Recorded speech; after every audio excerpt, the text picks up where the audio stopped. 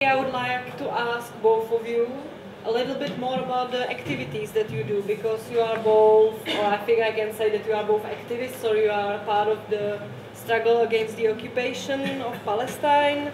Um, maybe if you can talk a little bit about how you started to get involved, uh, how were you thinking whether to choose, I don't know, being an activist or get involved with an NGO, the difference between like a charity, solidarity and activism. And I know it's a broad question, but you can make it short if you want. Um, I started as an activist when I was born. I was born in 1988. Yeah, that was even before I was born, by the way, because uh, my name was. Um, I started as an activist. To tell you the truth, it's in 1967 when my father had a, a tattoo in my name in his hand, you know, and I was born born in 1967.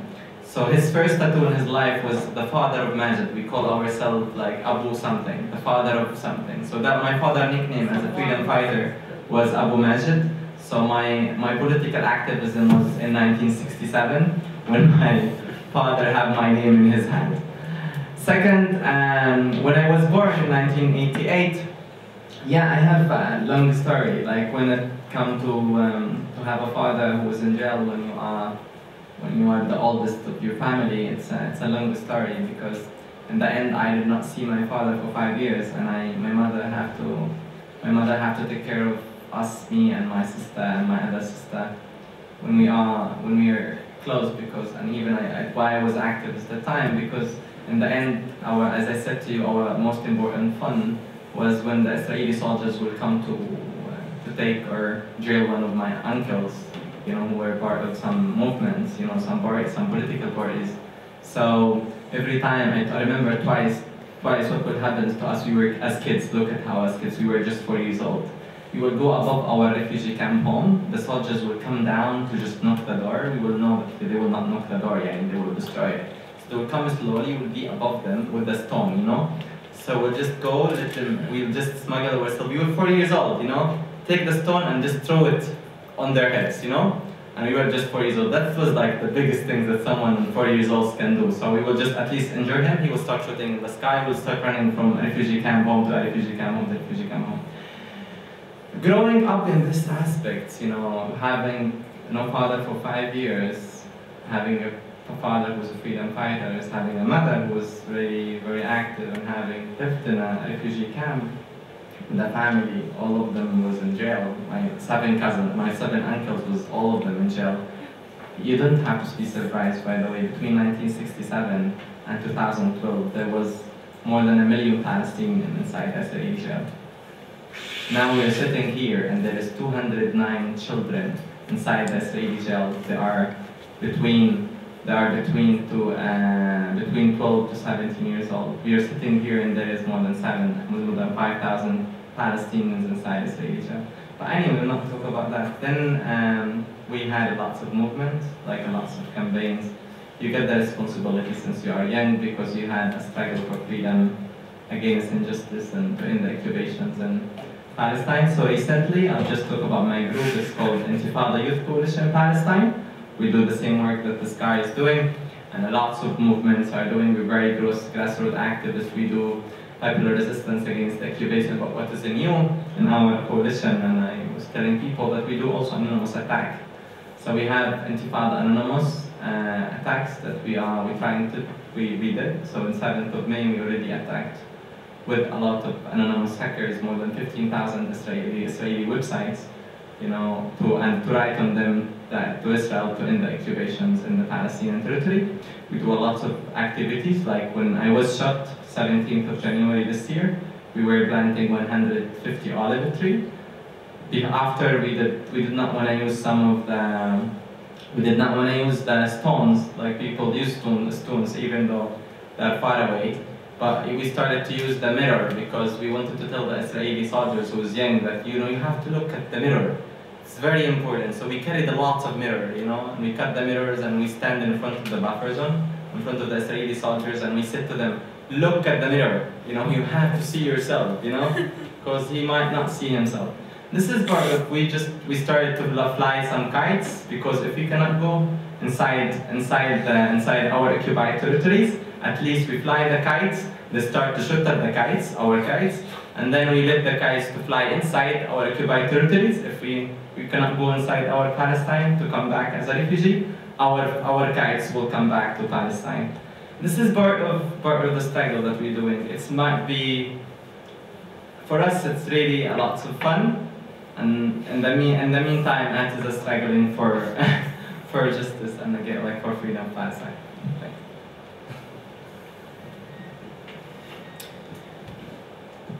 So I think that the main thing that um, I had to overcome, or the main act that I took, was uh, to become a conscientious objector to military service. So military, service is mandatory in Israel, three years for men, two years for women. and I thought about it for a long time, for maybe six years, if I'm willing to be a soldier or not. But we are being raised to be soldiers from kindergarten, literally from kindergarten.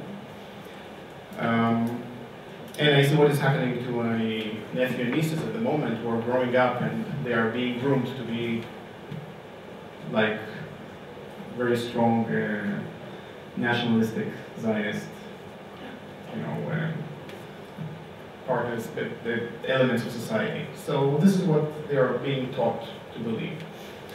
So for six years I was thinking about it, whether I'm willing to be a soldier or not. And still, I thought that if, if I will not get drafted, I will be some sort of a parasite or a traitor to society, because this is what we are trying to believe.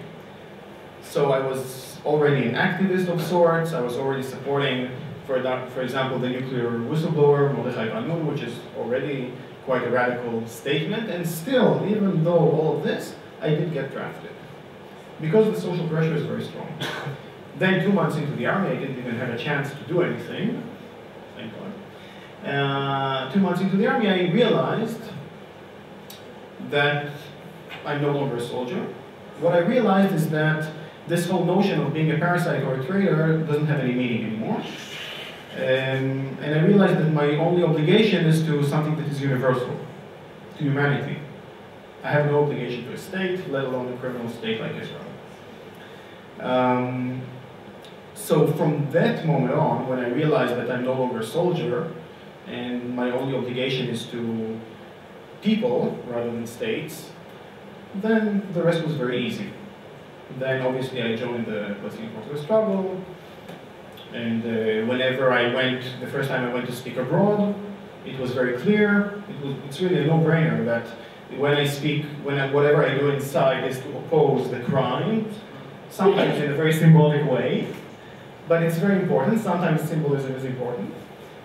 We, we're not many people, but we do some actions to show that we stand up for people's rights and also to tell the world about what is happening is also very important. But whenever I speak abroad, it is not so much about struggling against the oppression, but actually motivating people to take action, to stand up for the oppressed. At the very least, you can be neutral. At the very least, the government of this country or any other government, if they claim to be neutral, that is fine. I, but we prefer that they stand by the oppressed. But at the very least, they should not be complicit in crime.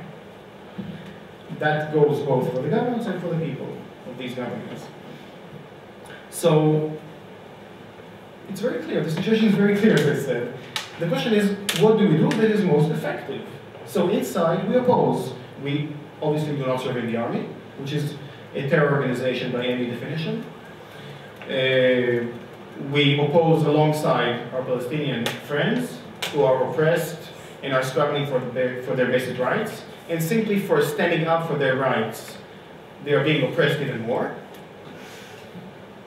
You know that according to military law in Israel, anyone, any Palestinian standing with a megaphone calling for a demonstration can be arrested for incitement. In these military tribunals, you have 99.7% conviction rate. This is how they get all their prisoners who are now on hunger strike. And it's amazing that they managed to lead this struggle from within the Israeli prisons. And they're the ones who are being looked up to, not the government officials.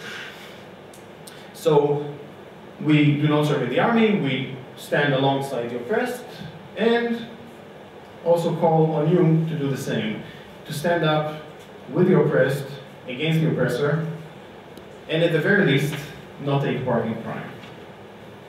And it is proving to be quite successful, so we will carry on with that. Uh, I would like to ask uh, one more question. Is there like a, a, really inspiring activity that you have seen or taken part in Palestine, or is there any inspiring activity that you have seen when you travel around the world and give your uh, talks? So maybe it's two questions: an inspiring activity within Palestine and international. There was some action uh, that I was also involved in, which was what was, what was called Welcome to Palestine. After the flotilla, after the uh, boats that came to break the siege, the illegal criminal siege of Gaza, uh, which was a very good action but also very costly, there was another attempt to break more like the mental siege, uh, which is basically that internationals, international people, uh, bought plane tickets for a certain date, and they said we were coming to visit Palestine via Tel Aviv. Actually, it's only Tel Aviv, that's wrong. It is in Lid, ethnically cleansed Lid. Uh, and they came via Israel to visit the West Bank, specifically to visit Bethlehem. Simply for stating that they are coming to visit Palestine, rather than doing what is expected of them, which is to visit Palestine, but to say something else, to play the game and say, we are here as tourists and so on. We're here to, to see the sites, also Bethlehem, but also Tel Aviv and so on. No, they said very clearly, they, they took a stand and they said, we are coming to visit Palestine. And they had their visas and they had everything that they needed. Their passport did not expire. And still, it was just crazy to see what was happening in Israel. There was sheer hysteria in Israel. Um, the airport transformed into this military facility, which anyway it is one of the most secure places, but it, it was transformed into uh, one of like clear military facility. Many airlines already blocked people in Europe and forbidden them for getting boarding their planes. And those who managed to make their way were arrested the moment they landed. Also, those few activists that wanted to come and welcome them, just go with welcome signs, welcome to Palestine. The second time we did it, so uh, we didn't come with welcome signs, we just came with drawings, pictures, children's drawings, kindergarten children who drew all sorts of nice pictures of Palestine, and we just stood there with drawings. All of these people got arrested simply for doing that. So, so there was sheer hysteria, and that is actually amazing. That simply for standing up for something so simple, this is the reaction that it raises in Israel. I myself went to do an interview at the airport during the second Welcome to Palestine. It was a scheduled interview, a live interview at the airport. I never had a chance because uh, even though the TV crew was waiting for me and so on, uh, right after they finished interviewing the Minister of Interior and Minister of Defense of the Interior, Security, whatever, Internal Security, Minister of Internal Security, um, he just finished interviewing, and then came the police and the undercover police and all these. They told the TV crew to turn off their lights and their cameras. They happily did so. They came to arrest me like they arrested all the other uh, activists. Uh, and this went unreported, obviously, in the media, including the competing TV channel which was filming the whole incident and, and asking me questions while I was being arrested. It never arrived at Israeli media because the media is absolutely complicit in this. There's, there is some censorship in Israel, but mostly it's not about censorship, but it's about self-censorship. So Israeli media will simply not report these things or will avoid reporting it as much as they can. Happily, they can no longer avoid reporting about BDS activity. That it has become a real issue, a real hot potato. And uh, now they are reporting it, they don't like it, but they talk about it all the time. And that is, again, a very good sign.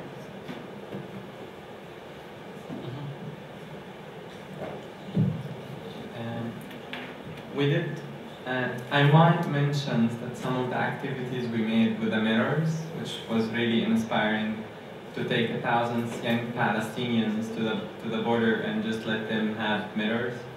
But the Israelis will not let them have the mirror because everyone had a big mirror because I had I had four four four big mirrors three of the people who carried the four the, the mirrors were shot in their legs and their and their like their bodies, so they had to stay in hospitals or in their home for two months or three months. Anyway, one of the things that we are doing is, as we said, is highlighting the highlighting the human rights violations against the against um, Israeli human rights violations against the Palestinians. And one of the main aspects in our work in in, in Gaza as we have other countries in the West Bank. But as we said, like we do almost the same that, that anybody is doing in the West Bank, which is popular resistance against Israeli occupation. We in Gaza, we do also the same, but we don't have a checkpoint, so we go to something called buffer zone. So um, the most challenging things was for us is to start going to the 300 mile, 300 meters. That was very challenging, you know, so and to just like accept that there is, we hope that we can inspire people outside to challenge because everything we do is about challenging. So when we did that, we did twice two things that I will tell you about. One is planting an 150 olive tree. To plant 150 olive tree, which will summarize the Israeli-Palestinian, like what so-called conflicts and what I call the, Israel, the Palestinian struggle against the Israeli occupation. So planting, coming to the 300 meters, that is a big challenge for the Palestinians.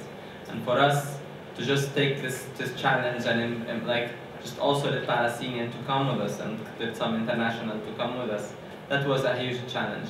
And also the bigger challenge when it comes, like when, when you see all this reports saying, saying in all the news that is um, Palestinians are planting olive tree, in the meantime uh, Israelis are planting uh, pollet uh, inside the legs and the, the, bodies of these Palestinians, you know, as they're doing in the West Bank and they're doing everywhere.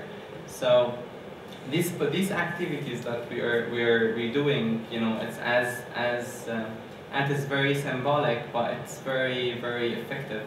This is this is part like as he said, will come in Palestine in 2010, far away from the Intifada Youth Coalition we made something called Gaza Freedom March.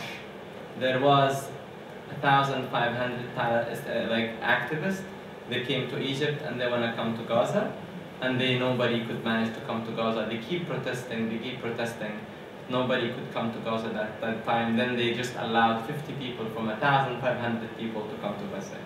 The idea, as much as very small, you know, but it can get a huge, huge effect. Like two, three people, as they said, like why Ronnie is very important in the Israeli in the Israeli scenes, you know, and his group, because in the end, there, are, there are Israelis that are saying free Palestine. They are saying there is there, there this, this this Israel is not Israel. It's it's it's occupied territories.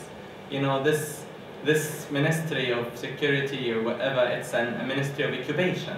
You know, and that's what continues. You know, and that's what has to continue. And what we want as I, without mentioning how inspired and how grassroots we are, is how we can inspire part of you to do the same things, like how you can do inspired, inspiring activities here, you know, how you can do BDS movement through your universities here, how you can boycott Ahava and, and SodaStream, and how you can do more activities. What can, like, what can inspire, inspire you to, to improve the, the, the, the concept of solidarity you know, inside check with the Palestinian cause and with justice and with human rights in the in the Israeli occupation in the Palestinian territory. I think you have actually stolen my last question. I might. But I think I will ask anyway. And I wanted to ask, how do you see the struggle against the occupation connected to other struggles around the whole world? And how can they inspire, support and influence each other maybe what do you say to people who ask, we have our own issues, why should we care about Palestine? I'll say just a short thing. Again, the BDS campaign is a Palestinian-led campaign, but it's a global campaign. And it's amazing how many people are taking part everywhere around the world. there is, for example, what we call Israeli Apartheid Week, uh, which is a one week of events in universities. It started in Toronto almost 10 years ago. Nowadays, it is taking place once a year, a whole week of events in more than 200 campuses worldwide. This is really encouraging, and you have different student organizations, different groups doing this activity, and we all work together. It's a very decentralized campaign, but with a lot of connections, and we're building connections all the time. So when people think that BDS is about no, no, no, that we're against everything, actually it's the opposite. We're very much in favor, in favor of freedom, in favor of equality, in favor, in favor of justice, and we prove it by how we collaborate with each other all the time. Anyone who accepts these basic rights of Palestinians, also of Israelis, but they are not the ones whose rights are being tampered or hurt at the moment. Um, if you accept these basic rights, then there's more than room to cooperate, and this is what we do, and it's uh, really great. No, it's uh, I, as as everybody say, you know, it's like it's not like Ronnie said and I said the same. It's not complicated at all. There is people under incubation, and lots of countries was under incubation. And when someone is under incubation, or with someone when with someone occupy your home, you will ask for your neighbors to come and help you, right? This is how it works. So we ask for your help. We ask for your your your energy. We ask for where are you, what you're working, and what how how you can how can you through your work, your friend, educate as much people as you can about the issues. How how yourself can be part of the BDS movement, and how you can be part of a student university, how you can be be part of organizing an event, a conference, uh, a seminar. How you can just like it's you don't have to be you don't have to be part of the known places. You just have to tell people that there is a there is a place where people are living under blockade they are under occupation 60 years, and it's easy, not that complicated as you see it in the news, that they just call for human rights. And, and it's their human rights, like with uh, settlements, oh yeah, EU is, is condemning settlements, and they are saying there have to be no settlements. Uh, international court is saying they have to destroy the wall, you know, and they have to be no wall. Everybody, on all these people that you saw in my presentation, that so they're saying they have to beat the blockade. It's eight years ago, you know. And this is easy, you know. What we have to do is just we have to call for justice and human rights. How is how easy is that? And inside us we have to empower the the, the will. You know, it's not about waiting opportunity, it's about will. You know, I, if you have the will to do something, you will do it. So inspire yourself from inside, get the will, and do something. And you have a lots of a group. You have ISM here, you have your university, some of you work in some organizations and we don't tell you what to do in, in your country. I think you know what to do more in my our countries. As much as we give you technique, as much you might give us more technique than we know that we can give you. Thanks a lot. Okay, then I think it's time for you to ask questions. If there are some, but I'm sure there, there, there are.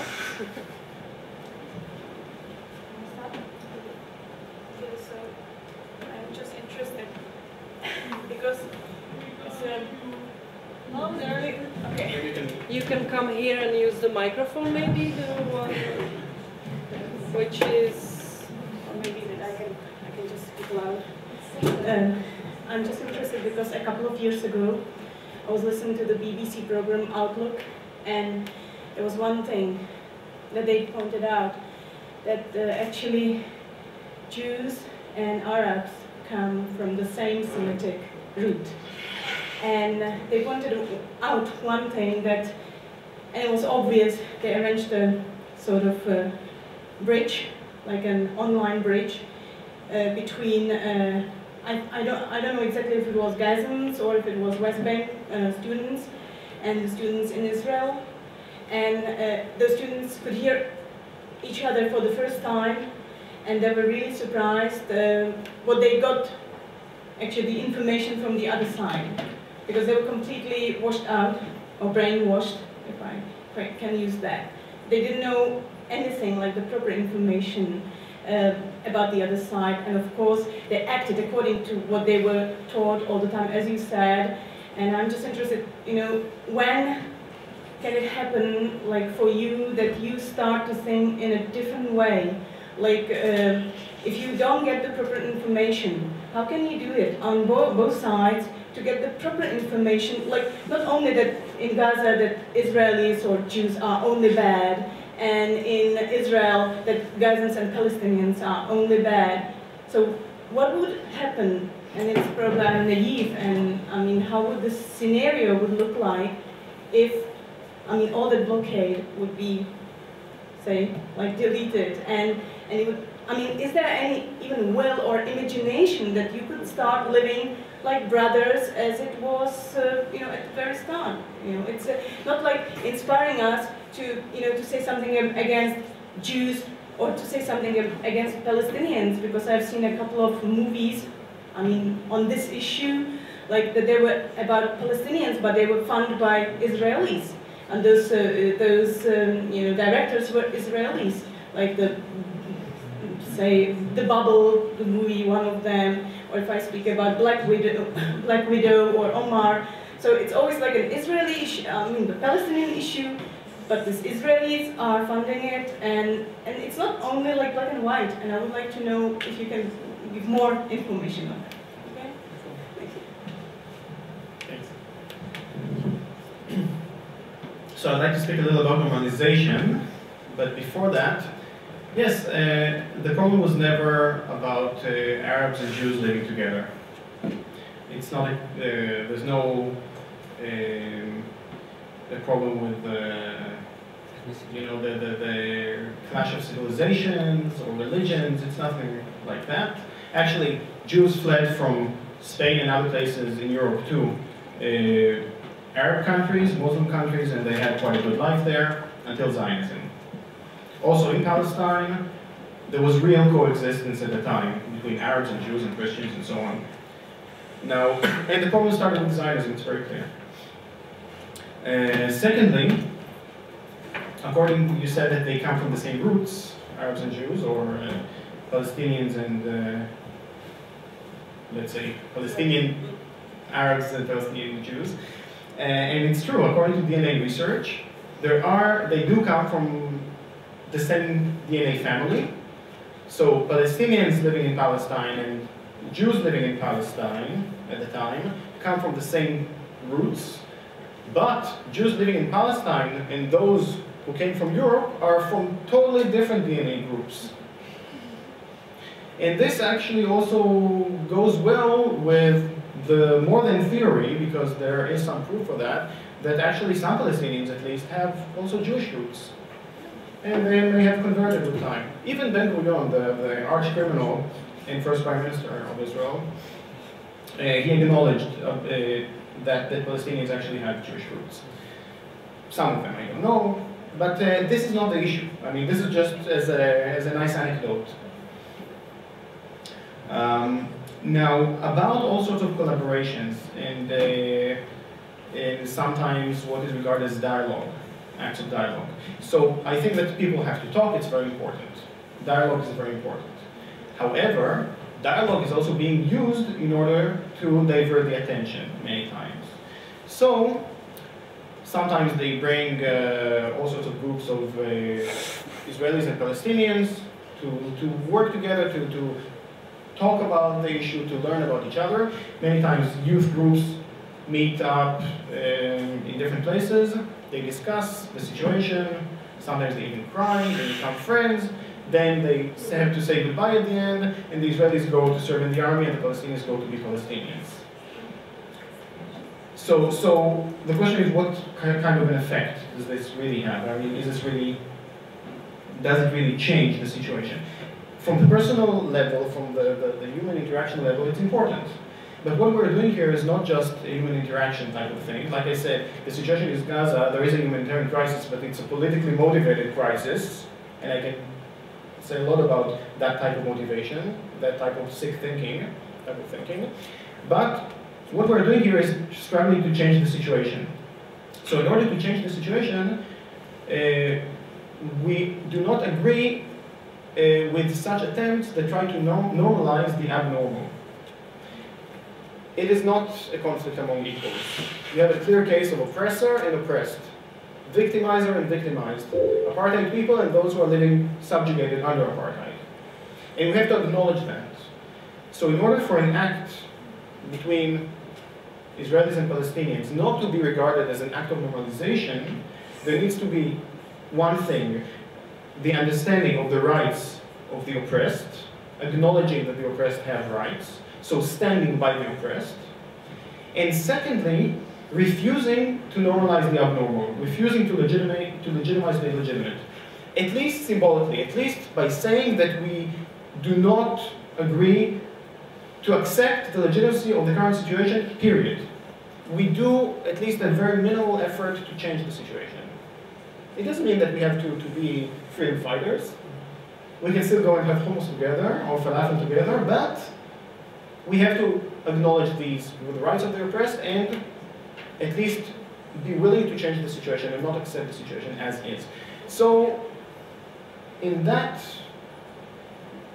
with that type of thinking, some of these collaborations between Israelis and Palestinians are very much about normalization, and we are against that. Not because on the human level that is necessarily a problem, but because on the political level that sends a very problematic message.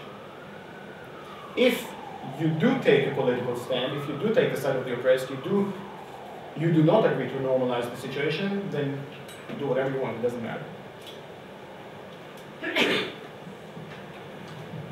Are there any other questions? I want to add one stuff.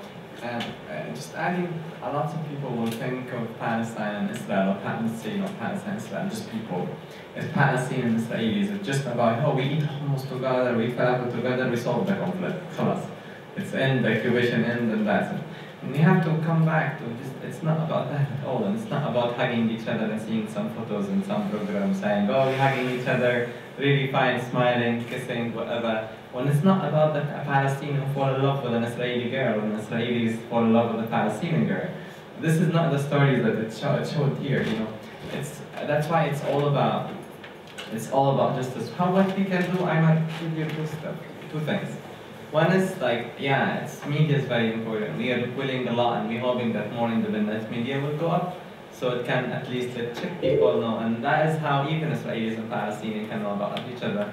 One of myself, my dream, I wish I could do like a Hebrew, a Hebrew Arab like agency that which can have Palestinian and Israelis who know the truth, like Ronnie Marid says, like who know the truth and they both write from different parts about the activities, the grassroots activities and all these things.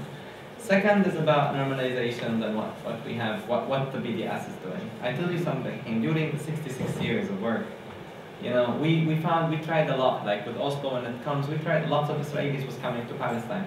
Even during the, during the, like let's say the first intifada, there was some Israelis was coming and sleeping in some Palestinian home in Gaza, and they were dancing with them and, in some of the, like some of the parties, you know. Also lots of Palestinians were also working inside Israel or in the West Bank, you know and they know some Israelis. And now, with all that, it's like we have connection. It's not about being in contact. It's about pressure, you know?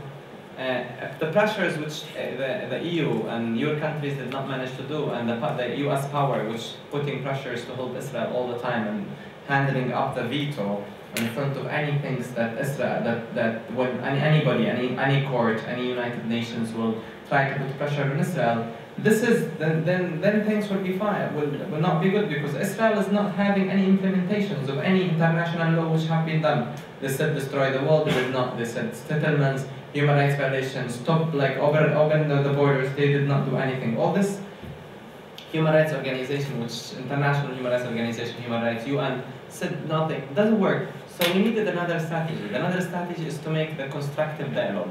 And when you talk to someone, yeah, and, and how there is two constructive dialogue. The constructive, if you try to talk with someone and he doesn't didn't didn't didn't do anything, what you will do? You might start looking at him and be silent, right? So the constructive dialogue right now is just to look at him and be silent. You know, just like far away. I don't want to talk to you because you're not implementing this aspect. You know. So when they implement it, when they when they when they end the occupation, when they stop their human rights violations, when, then there will be for sure, yani, when they when you have a state like like now it's like the two even the two state solution is not a concept, yani. Two state solution itself it's not working because there is more than a half a million settlers inside the, inside the settlement. And if anybody will study the the settlements, you know, and the, the wall what happened with the two-state solution, it's almost destroyed. Even if they want to rebuild it again, or one state or whatever, you know, people is our people. They will always come together. Thanks a lot. I'd just like to clarify something that um, I said sort of by passing. Um, there are those who speak the language of peace and human rights in order to carry on perpetuating Israeli crimes. We call them liberal Zionists. There is no, or sometimes they call Israeli left. There is no left in Israel. Never was. There is no peace camp. Never was. There is a handful of dissidents, that's it. Those who speak the language of peace in Israel, usually those who promote the so-called uh, two-state solution, they speak the language of peace in order to protect their privileges, in order to perpetuate the situation. So those people are also very much engaged in all these types of dialogues, the dialogues that I'm not in favor of because they are not politically motivated, they are not about taking the side of the oppressed, they are just about creating this facade, this image of negotiation and dialogue and whatever, and as if, you know, if each side will just make a few concessions, then we will arrive at peace, right, the solution. Actually, it's not like that. It's like that. There's one side that has to make concessions. It's not about making concessions, it's just living up to its obligations. And that's what needs to happen. At the moment, as long as Israel is a criminal state, what needs to happen is not coexistence, and it cannot, we cannot have coexistence when the basis is that of apartheid. What needs to happen at the moment is co-resistance, resisting together the oppressed and the oppressor, resisting together in order to end the crimes. Once we end the crime, then we have a long way to work, to do, in order to actually build something together, which is based on equality, respect of the minorities, multiculturalism, and so on.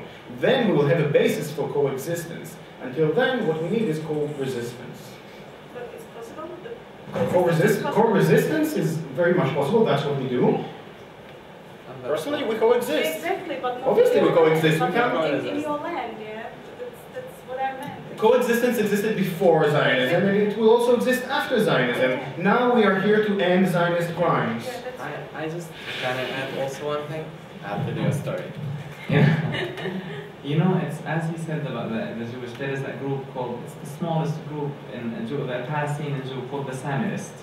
You know, the Samarists are in, in Jersey and in another place in Nablus, and they till now we try a lot of time to tell them, you guys have to come and take the Israeli nationality. They don't want to take it because they're Palestinians. Some of the Samarists, one one of the Samarists, are in jail. Is in jail right now. He's a Jew. He's a, he's a, a Samari Jew Palestinian. He's in jail because of what?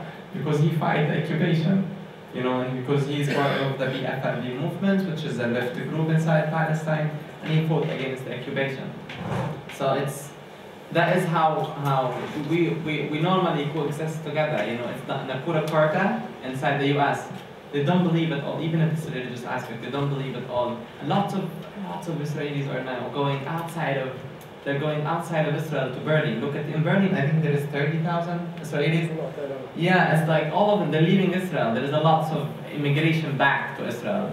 You know, a lots of Israelis are trying now to take the young Israelis trying to take another nationality because they don't want to live uh, like under the oppression. I have a lots of friends who they said to me, I was living, imagine, I was, it was, uh, I was in the beach when they were bombing Gaza. You know, I, I just could not imagine that there was bombing 30 minutes away from me and I am sitting in the beach having fun, you know? And they just could not accept it, so they went out to other countries. And even him, he just took his nationality soon, the Slovakian one, so he can escape. not, not to escape, but to do, to do work outside. To do work Yes, outside, yes. yeah, sure. Further questions? More questions, No? Can you maybe come here or speak loud? Maybe out of uh, Content. discussion, but I came late. But I would be interested, uh, I heard a lot of information from Israelis, or I read some articles that uh, you could put in perspective that there are some uh, big, big divisions in Israeli nations within different groups, and also your, your Palestinian friends could, could uh, inform us if there are any Palestinian divisions like below Fatah and, uh, and Hezbollah, no, Hamas. Hamas. So, and then the, the, the, there is a uh, rising tensions in Israel among Israelis, among themselves, not only against uh, Palestinians or so. So, if, uh, so that it may be the same problem on the Palestinian side and in Israeli side there are rising tensions within the nations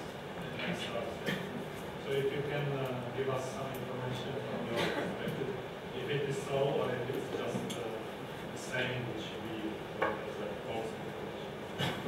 Thanks. So the question was about division in, in uh, divisions inside Israeli society and also among Palestinian society.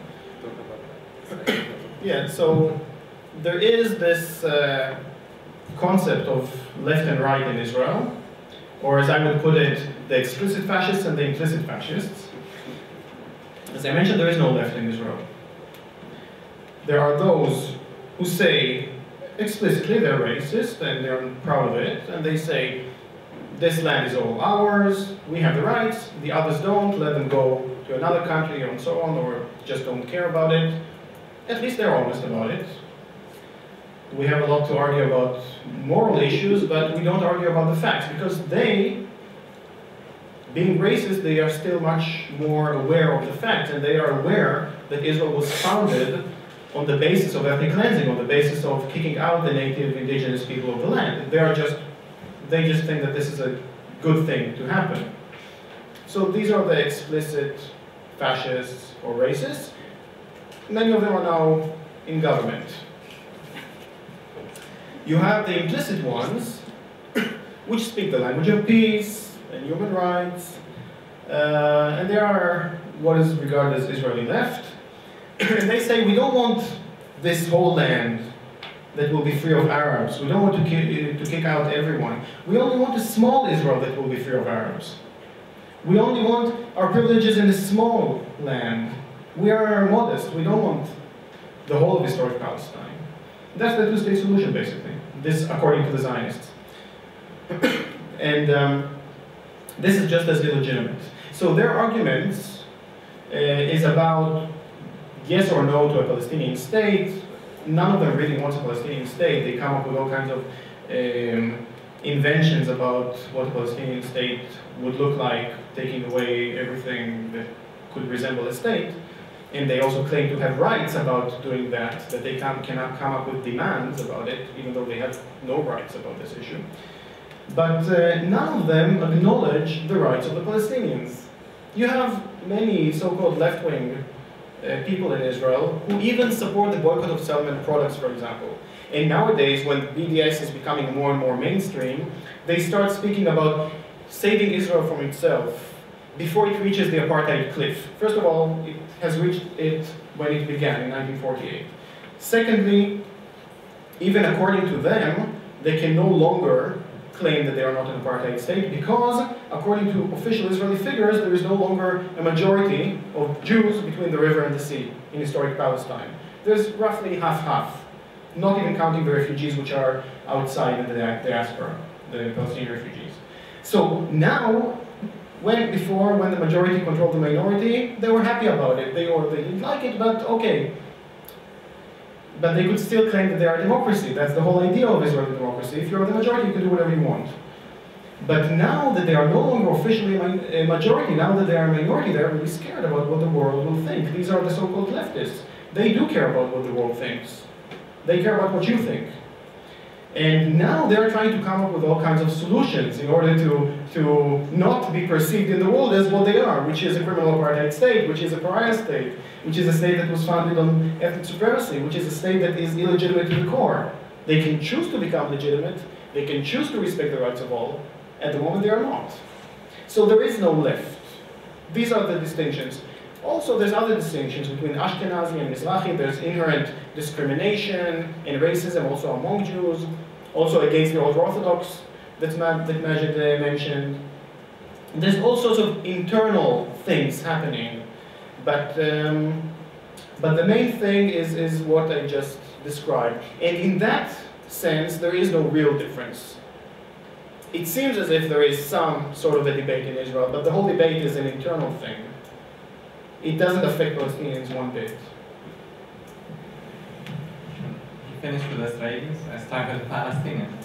And Palestinians are also having a couple of aspects. One of one of it is two-state solution.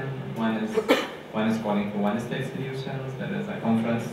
Ronnie was in the one-state solution conference, which I could not attend. But anyway, and there is uh, people are calling for a confederation of Palestine, Israel, and Jerusalem as a, a place for two governments. This is a new one which some of the leftists, as he said, like they're trying to create new solutions to the people. So one of the new solutions they created is the Israeli-Palestinian Confederation. Anyway, uh, as we, as everybody know, we have Fatah, Hamas, we have Islamic we have lots of the FLP and other parties, the left parties. Uh, what we, what the PLO, which the Palestinian representative agreed on, is the two-state solution. You know, the two-state solution that that Hamas, Fatah, and Islamic Jihad, not Islamic Jihad, just Hamas, Fatah, and PFLP and other small groups of uh, left agree with this two-state. But this two-state solution, as I mentioned before, it's not working at all. You know, with the more than half a million settlers and our inside the green lines in the 67 so it doesn't work, you know, and also there is a lots of other obstacles. But anyway, there's other people because of this two-state solutions not working on, so they're calling for one-state solution, even from the Palestinian. Let's go, we finished with the PLO, we have the divisions between, with, uh, with the Islamic Jihad and another, another, also some part of Hamas, who are calling that, hey, this is Palestine, it was always Palestine. The age of Israel is 66 years. So before the 66 years, it was, it was Palestine, I'm, we all are refugees. We have 70% of Palestinian outside and inside are refugees. You know, so we have to come back to our villages. We own villages then. Ourselves as a, a family in the Gaza Strip, everyone, every cousins of mine, he have in his email. I just did it before I came to Europe. Everyone, I scanned all the, my, of my grandfather and my grandmother papers, the lands papers from the Ottoman Empire and from the British Empire and I send it to all the emails of my, of my families, you know, like my cousins, just to keep it, because this is what we have, this is our land, this is our right, and we have to come back to this land. How it will work, how they will find a solution, this is something else, you know, it's me and Ronnie, before we come here, we find, like, we try to say, like, okay, like, guys, what we solution we have? I myself, let's say, as a Palestinian living in, uh, in Gaza, my activities, I'm, I'm into anything that can bring the Palestinian the right. They can have the right to return, and they can have the self-determination right, and they can have this 66 years of suffering, and they can have all the rights, then there is there will be a solution. So if it will be one solution, or two solutions, we can at least live together, we should do something, but I myself, I don't want more states. I I don't want more borders, and I don't want more checkpoints. It's like, it's enough, you know, we divided Czechoslovakia, it was Czechoslovakia, you know, like, then they will divide it again, you know, and like all these countries, enough with borders, checkpoints. I myself call for one, for one world solution, you know, so I for sure would call for one state solution because, and with the solutions of everybody, you know. So this is the divisions among Palestinians and, and rights and, and how how old is a country and how how our rights have to be and how our, what what also that United Nations give us right. Thanks. Anybody else? We still have some time, 10 about or 15 minutes, so. Can I ask Ronnie? Majid mentioned that he has a background, strong background from family, like activist. How is your situation? Do you have support from your family? So the question was if I have a background, Majid has a strong activist background. What about my background? I have a strong apolitical background. I grew up in a totally apolitical family, also not very Zionist, but very mainstream. My parents care about me, they don't care about politics. Uh, also, when I tried to get out of the army, when I was a refuser or an objector, um, eventually they, they helped me, not because Initially, when I said I'm not going to serve in the army, my dad said, so find another place to live in. That's kind of the type of thinking.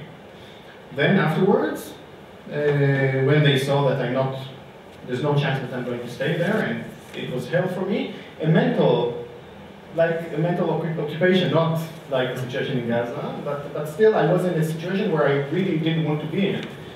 Mentally it was very difficult, and they were worried about me, and eventually they helped me to get out of the army. So so because they cared about me as parents, not because they support my politics. Uh, also now, I mean, uh, and, and most Israelis, even though I said that it is a fascist society, and if I didn't, I will say no, um, most Israelis are not uh, uh, uh crazy racists. Um, they are just apathetic. They don't know and they don't want to know. And they make a lot of effort into not knowing.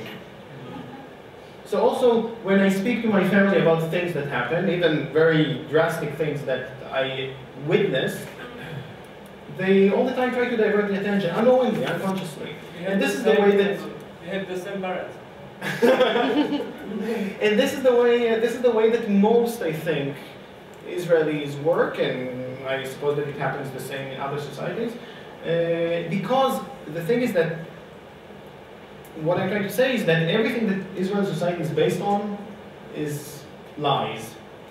They believe in Jewish and democratic, being Zionist and moral. You cannot be Zionist and moral, it doesn't work together.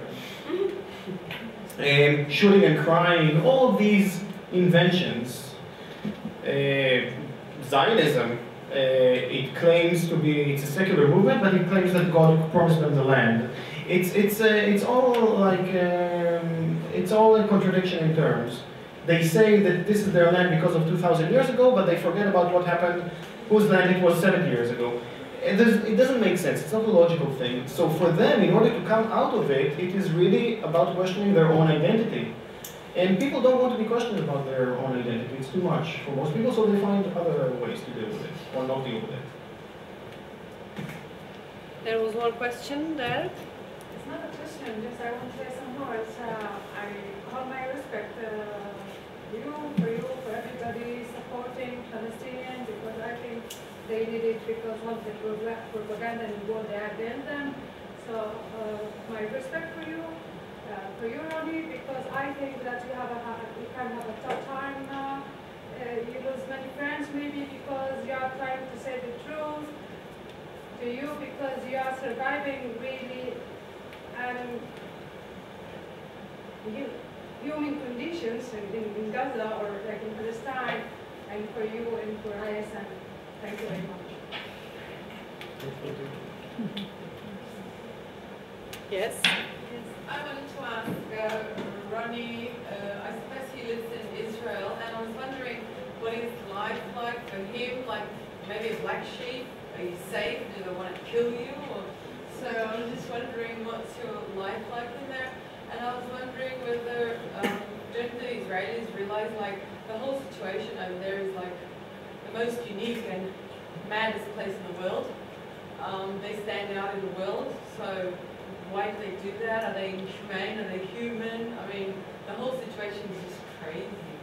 It's, I mean, the whole psychological, I mean, are they all crazy or half of them? How long can they go on uh, in, in like that? They're the most unique place in the world, worse than any other. Okay, I'll start with the easy part, which is about myself. Because, uh, yeah, the society is crazy, I think. everywhere. Uh, everywhere. Um, first of all, uh, the easy thing is to say that uh, I'm still privileged, so uh, there is some sort of, uh, there are, the authorities are trying to give me trouble, not only to myself, other dissidents as well, but it is still quite limited. If I was a Palestinian, I would probably be in jail by now. Um, having said that, there's also, uh, for example, Israel legislated an anti-BDS law in July 2011. it hasn't been put to the test yet because they're quite afraid about the consequences. But in July 2011, they legislated a law saying that anyone calling for boycott or endorsing boycott, participating in boycott of Israel for political reasons, um, this is actually uh, illegal and uh, they can be sued without even having to prove damages by those, can be sued by those who have been harmed by that boycott. So initially they wanted to have it more severe, it was supposed to be a criminal offense rather than a civilian offense. They wanted it to be retroactive, retroactively put in place one year, which is crazy. Eventually they, they put it aside. But anyway, so they softened the, the, the law. Even still, it is quite a silly law that clearly shows that Israel doesn't care much about freedom of expression, political freedom of political organizing, and so on. So the first responses against the law actually came from the Israel lobby in the United States, because they understood how bad that makes Israel look. Uh, and it does. It, it exposes the true character of Israel. Now, that is a good sign. That law is a good sign because they're, they're really exposing themselves for what they are. Also, if they wish to, to sue me, let them. It'll be the best thing that will happen to the BDS campaign. It'll be in the mainstream media. Okay? So let them, because the repression and the and also the repression of freedom of expression and so on, that's a common thing for Palestinians. That's not a big deal, even if they are Palestinian citizens of Israel. What is new about this law is that they are using the same means against the privileged. That's the only thing that's new about this law, but it's quite, quite a change. Um, but we have to put it in perspective. They do this all the time. They only now also implement it towards the dissidents, the Israeli dissidents. Um, the BDS campaign was under the supervision of the Ministry of Foreign Affairs, and, they were doing all sorts of hasbara, all sorts of uh, propaganda activities around that, trying to convince the world that actually Israel is a wonderful democracy and so on, or trying to divert the attention towards other things like chocolate and uh, things like that, and Israeli wines. Uh, nowadays, it is under the, instead of being under the supervision of the Ministry of Foreign Affairs, it is now under the supervision of the Ministry of Strategic Affairs. So now BDS has become a strategic threat, pretty much at the same level with Iran. I don't know which is more dangerous, the fourth largest nuclear superpower in the world, or the country that is maybe working on nuclear arms, but anyway, BDS is now at the same level of uh, the Iranian threat, according to the Israelis. Um, other than that, there's some harassment here and there, but uh, but it's still it's still workable. Yes. Yes.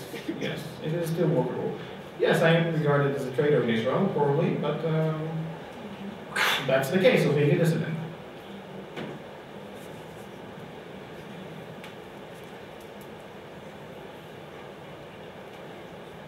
Anybody else would like to ask? So the conclusion is that it's still a long way to, you know, for, as you say, that everybody's racist in, in Israel, and even those who try to say that they are actually willing on, you know, changing something.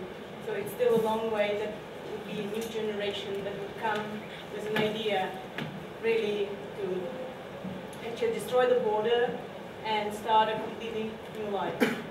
I mean, the life that uh, both nations can live together. I mean, it, because it sounds like that. It's, it's still like even though we go from outside and we press, and but if there's no change in people's mind, I mean, inside Israel. So I, I, I will I will say quite the opposite. Okay. So Being an optimist. Yeah. Nothing has changed for the past 60 some years. Mm -hmm. Israel did whatever it does with full impunity. Finally, things are changing. I don't know how long it will take. In the struggle against South Africa and apartheid, it took about 30 years until the struggle became mainstream and eventually all countries of the world were boycotting uh, apartheid South Africa, other than Israel and the US, who are very good friends with uh, South African apartheid. Acting President Shimon Peres tried to sell nuclear weapons to South Africa. They were arming South Africa to its teeth and so on. They, they were very good friends. One apartheid state was very good friends with the other. Um, but, but it took about 30 years and eventually it became mainstream. We're only 10 years since uh, the BDS campaign was launched and we have made quite a lot of progress. I haven't gone through all the different successes. Definitely it's not enough. We still have a way to go. But things are changing and that is very, very reassuring. Secondly, about Israeli society, there is this romantic notion that things have to change from within.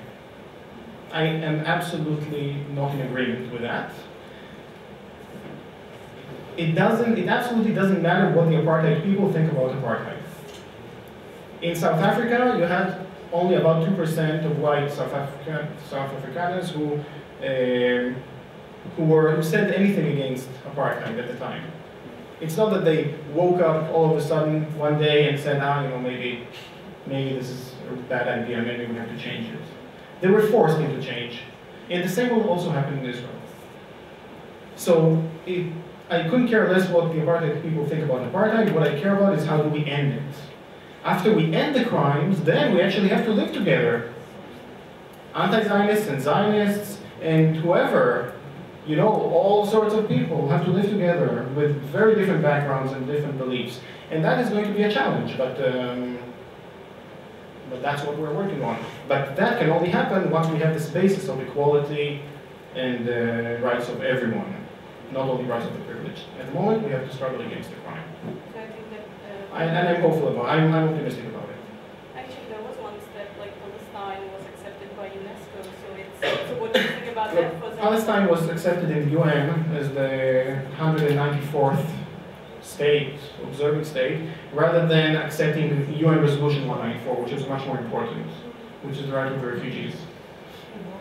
So um, rather than having uh, the 194th state, I would rather see the 194th resolution being implemented. And um, yeah, I can go into Palestinian politics. I will not say good things about uh, the acting politicians, but it doesn't matter because the, so, the main responsibility is not with the Palestinians who are oppressed, but with the oppressors. I I put myself in the side of Ronnie. I'm one of the optimistic guys, and I I'm very optimistic and very hopeful every day. Like every like every day, I'm traveling to another country and give talks in, in universities and see all these people who are sending email that they woke up, you know, and they are inspired. And that's what even Mironi was talking about, like how what we want from each uh, workshop is two or three guys that are committed to work in the group that is organizing the place, you know. So what we want is, is you guys, you know, that because you're part of how we ending all this um, incubation. You are part of what we are calling for. And because as, uh, like he's talking from an Israeli side, as a Palestinian, like we are part of establishing as we can, uh, like building a community. You know, we try to, to have the BDS things. We try to to build to build our uh, like our politics more. You know, but in the end, who have the power? Is Israel. Who can change? Is Israel. Who others have, have, have the powers? Is America and EU. Who is part of the EU? Is you. Who are part of the part of the US? The US citizen. US citizen started, and that was never happens. When he when we said that there's 200 campuses in the world just having the apartheid week, it's not an easy it's not an easy job. You know, it's it's a real. When you when we say that there's lots of like hundreds of universities right now that are calling for that they they they, end, they boycott universities in all Israel, it's not a job. It wasn't in, in, in, it was in, in Norway, and there is the National Museum in Norway boycott all ties with Israel. Trade union in Norway boycott all like this is even though it's the right-wing government, you know, in Norway, but they still have the trade unions working like they they boycott all Israel, and that was a surprise for me because people, we people can change. We decide politics, we decide policies. We are the ones who's responsible of our politics, what we do in our place, our universities, our institute how this could work. So part of the struggle and how we ended is you. You know, it's you and you struggle with us. As we said, as as them, as Israel and, and as apartheid state, someone is under, it's like the white people, like as like, like just South Africa, like as the white people did not feel anything, you know, and they will not feel, you know, because they don't want to, uh, like as we said, they don't want to know, and they force themselves and make effort they don't know. So, and I, we, what we calling, what we, what the opposite that we call for, if they don't want to know, and they are making, because they are in and privileged, you know. So you are the ones who should walk them up, and you are the one who should walk your community, and you are the ones who should change things from the outside. So we, I myself believe that you guys can think from outside, you guys can, can do things from your countries which much more effective. The BDS is from the outside, not from the inside. Even though he's saying we are symbolically making it from within. I'll tell you why. He's he's making boycott movement from Israel, but how many there are? It's just a couple of hundreds, couple of thousands even. You know.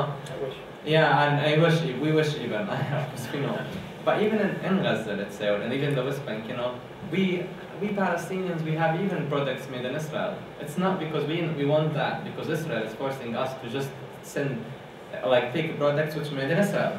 You know, as they force us to take their electricity and we pay taxes for it, and they force us to they force us to take their water and we pay taxes for it. They force us to take everything from them. We pay taxes for it. We pay taxes for our occupation to buy the weapons, you know, and test the test, test the weapons on us, you know, and then sell it to Czech Republic. And they say to them, you guys, don't worry, our weapons is the best. We we already tested the phosphoric bombs on the Palestinian in Gaza, and it works very well, you know. Like they test, like let's say there is um, like well, they test everything, like, I don't want to just mention some couple of places, but they test everything from Palestine and then send to the world. So what we have is something from outside that can come and can change the inside. Awareness from outside can, can come and can put pressures and make the US power and the US veto come down, you know. And like, we want millions of red, red cards, you know, stop with the yellow card. Yellow card is waiting and waiting and waiting. We need a red card. A red cards can tell tell Israel, just go out, you know? Like, you just, if you don't want to implement human rights, but like human rights law, you should go out. If you don't want to, if you don't want to do anything, so you just, this is the red line. So we are the ones who have to carry the red cards for Israel and say to them, stop, that's enough. Thank you. Can I ask a good question? Um, how does Palestine make money and what is the currency? Uh-huh. That is part of the occupation. Everything. I tell you, it's like I think my clothes. No, um, that this is no, no. This is I'm sure. I bought even our made in China. I had a kufia, uh, which is yeah. How are you buying clothes there, for example? Yeah, this is this is why I'm tell. And I bought a kufia in, in Gaza, which is not made in Palestine. Finally, I found a kufia which is made in Palestine. I bought it in Norway in a shop, you know that.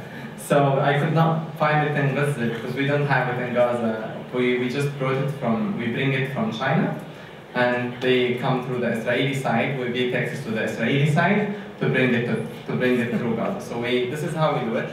So everything that is in Gaza, even our clothes, has come through the Israelis. How we pay, how we work, it's a, like it's really a huge question because in the end, 80% of Palestinians who live in Gaza, for example, let's say about Gaza, they, are, they, like they depend on aid, aid coming from UNRWA, United Nations, and aid coming from aid, like aid organization. It's not because they want that, no, just because uh, even United Nations, sorry, like even reducing all the aid that coming to the Palestinian, and there is 45,000 Palestinian now families who are used to get aid 60 years ago till now they did not, now they don't get aid. Why we are forced to do that? It's not because of anything. That Israel, now we're gonna build anything in Gaza, we don't have cement, let's say. If we're gonna build, if we're gonna have anything that you need to just restart, like our factories, it's always bombed. Our airport, I was telling Ronnie in the way, I wish I could travel from our airport, but it's just one wall, you know, and one of the most difficult questions that I would love to ask the Minister of Occupation in Israel, you know, and tell him like, why you just bomb, uh, like, Gaza airport, like you bomb it first time, it ends, you know? And there is one wall. Anybody, I wish you all can come to Gaza, we'll go to Gaza airport, you know? It's just one wall, and it's empty area. Why you just bomb it every year about 20 times? 20 times, every time they want to test the bomb, they bomb the, the Gaza airport, you know, and nothing is there.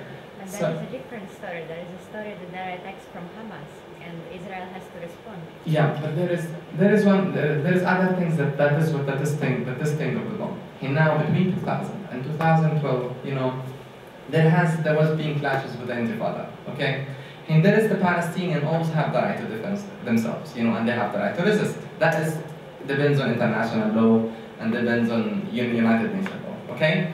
Israel, like between 2000 and 2012, did not have anybody was killed through that. the like they have about five, I think, five, five or six. No, no, no, no. Five was killed between 2000 and because of the rockets. Because our rockets are homemade rockets. The point that they had about seven years ago, they have something called the Iron Dome. Okay, the Iron Dome, it's, uh, it's a way, a military way, where any rockets can come out of Gaza. We as Palestinians against it, even because we are against all violence aspects. But in the end, you know, it's part of our resistance, and we are calling, that's why we, it's not called the non-violence. We don't call it non-violence, we call it popular resistance, because we have to, we have to, uh, to carry the right for us to defend ourselves. The same, if you have a thief coming to your home, you will not carry a knife, or you tell him, you know, you will come. You will carry a knife to protect yourself, because he might kill you, right? The same, we have the least things that we have, even though we know ourselves that the rockets that is sent to Israel, by the way, half of it, it says fall in Palestinian homes, you know, in the border. So it doesn't work, you know, but Israel, when we send something, it's it come back from, as they say, a defense, def it's not defense, defense mechanism. It became to be like offense mechanism because you send one rocket, they send hundred F-16 bomb back. So the like, this is how, how it works. They send one, they send 10 back. They send, so it is, yeah, it is, um, what we have is we have the right to, the right to resist, the right to self-defend ourselves. We as Palestinians, as, we, as I said, is um, against, um, I, like, we, we try as much as we can to do, uh, to do popular resistance. You know, the way, the way, the way of non-violence way, but Israel is just keeping all this occupation and till they arrived our mentality so you can get someone with can what can do. Um, getting quite late, so I think I will give space for the last question if there is one. The last one? And if not, then I will. there. yeah. Once again, uh, it's not a question, but uh, yesterday some people from this Google and Chomsky meeting, uh, and I think Chomsky said some one interesting thing which could be applied to your situation. That somebody at the end of the discussion asked him what we can do as an activist, as an activist for something to improve or something, and he said simple thing: you should you should make uh, power elite to change power elite. Yeah? So the way how to change the, the attitude of our state towards the Israeli-Palestinian conflict is to vote for people who are a little bit more unbiased than, for example, Mr. Zeman is as a president, yeah, who, who, helps really pro-Israel uh, stance in, in, this, in, this, in this situation. So if somebody wants to be an activist, it doesn't mean that he has to organize something really as a pro-Palestinian action or so, but he can simply ask himself when he is going to vote a new government or something, or a new parliament, and try to find it if such a politician can can be more unbiased in, in this uh, foreign affair uh, concerning Israel Palestine. So that's when you know that to be really active as, as an organizer or taking taking part in a demonstration. And he said one thing also. He ended up, he ended up with having the will, not waiting for an opportunity. So if you have the will, you will do something, you know. And it's I. I'm the one who asked the question. By the way, that's why I listened to it very well. Lots of people are very. This is very important issues.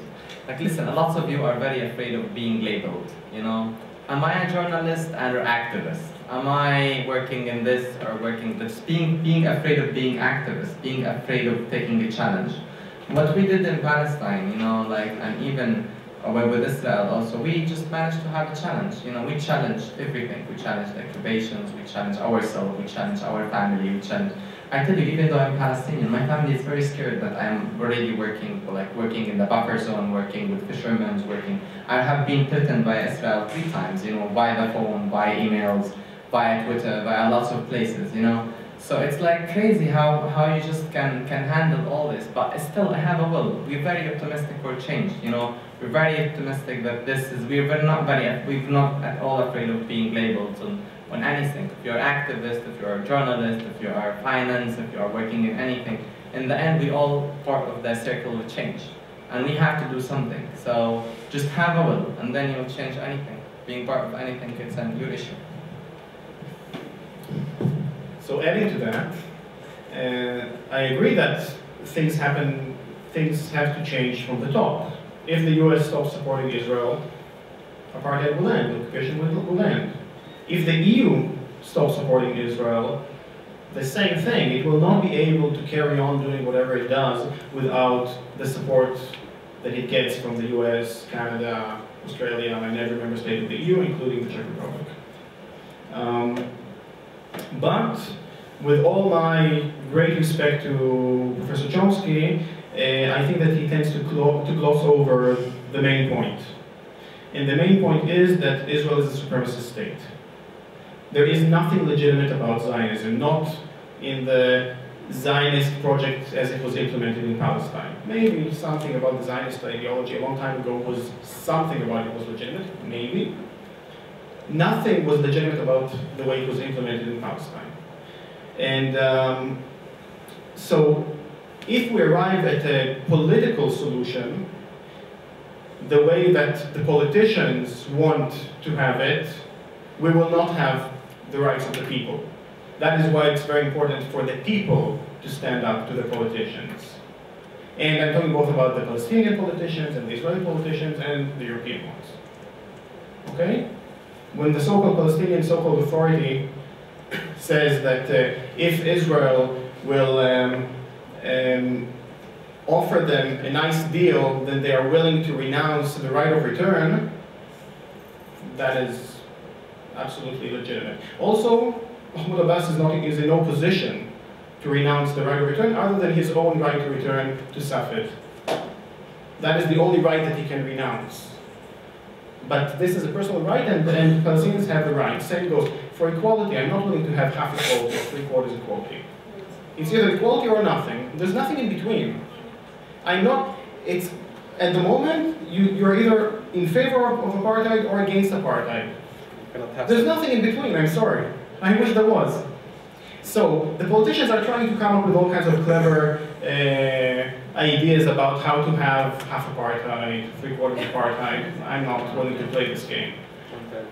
We're insisting on rights, on all three fundamental rights of Palestinians, how is it going to be implemented? I don't care. One state, two states, five states, zero states, it doesn't matter.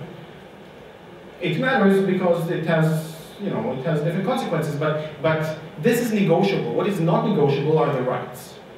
And uh, this is what we have to demand of the politicians, and also the Czech people have to demand of their politicians. At the very least, to be neutral. At the very least, not to support the criminals as they do at the moment. Hopefully, they will also choose to stand by the oppressed and that will make it easier on us. Thanks.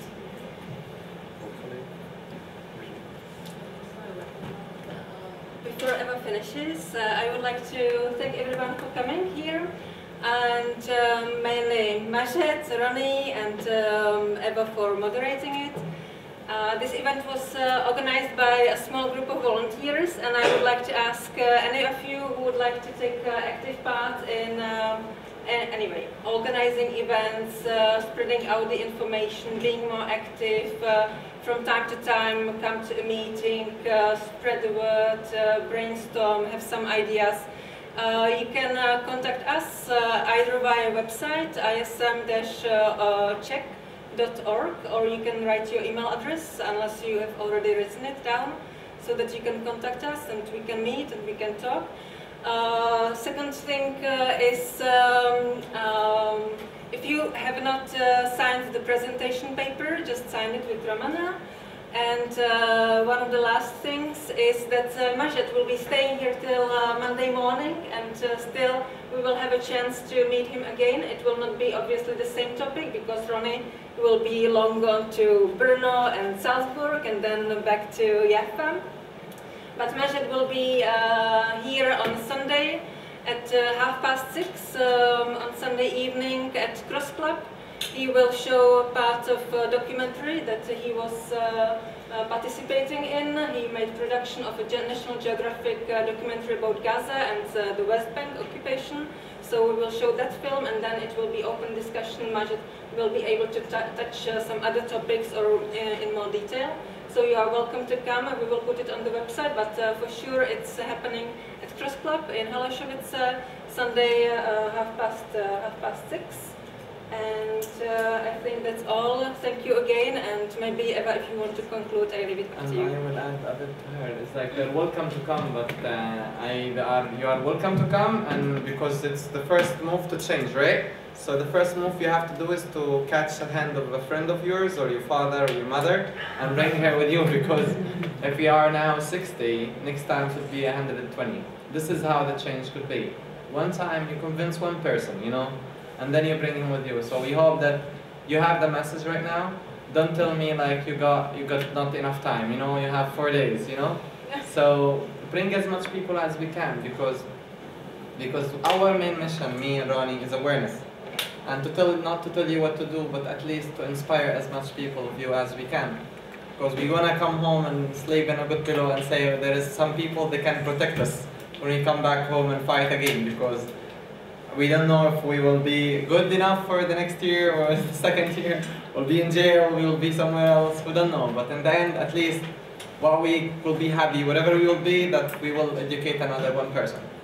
So I wish that someone, all every one of you would bring another person, another friend with him from you. Thanks. Okay, I think we all heard a lot of things. We now have a lot of to think about. I think you will, I hope, I hope you will walk away inspired, not depressed like me. and when you take a shower tomorrow, think of Majed. Thanks. Thanks a lot.